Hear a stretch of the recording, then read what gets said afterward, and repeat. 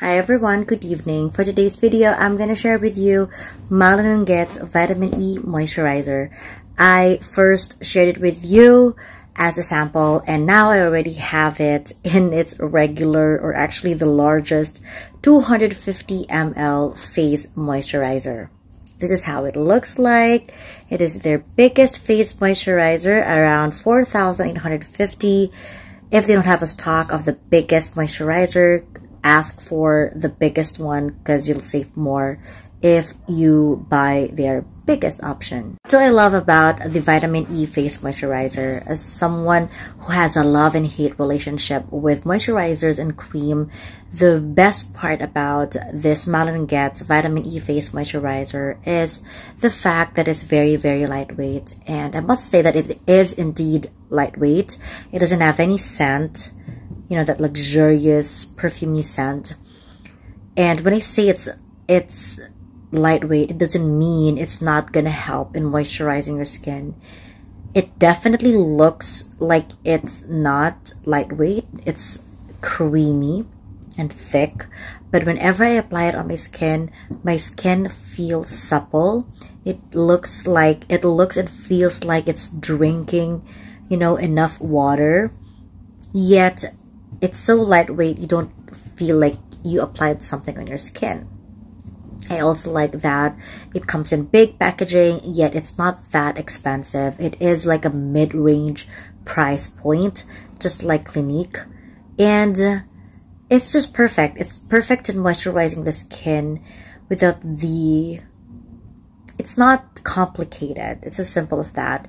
It has vitamin E, so definitely it helps in making your skin uh, extra firm. It helps in protecting the skin from any damage because it has antioxidant properties. It is both an emollient and humectant, which means it helps in absorbing water in the skin and also helps in trapping it inside, which means it's very helpful to those who have eczema and any dry skin issues like hypothyroidism, which is my case.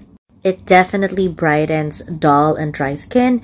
And if you happen to have sunburn or any issues with the skin or any damaged skin, it definitely helps. I happen to also use it whenever I have acne and I can see that it definitely treats my acne better than other moisturizers out there. My husband used this as an aftershave cream it's more like an accident. He has dry skin and we were about to leave. I told him, just apply this vitamin E face moisturizer. You're gonna love it. And then he did.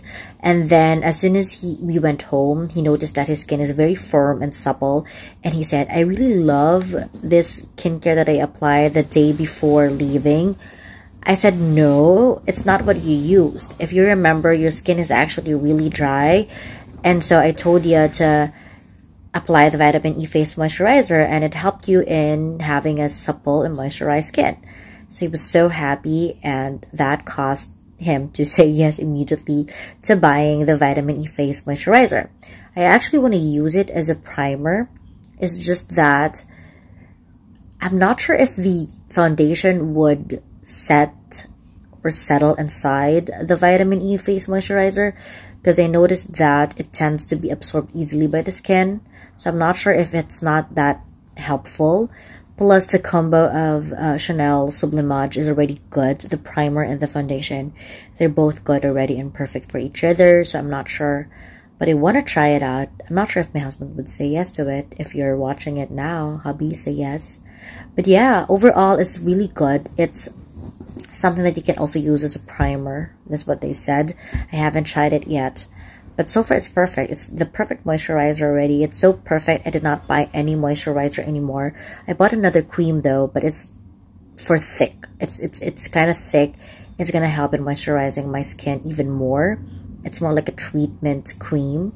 But yeah, overall, I'm really really happy, and I'm just happy that I was able to try out Malin & Goetz, and so grateful for my SAs for giving me some samples. Yeah. And I hope to see you again in the next one. I'll share more soon. And just have a good week. Have a good Monday. God bless you. Bye.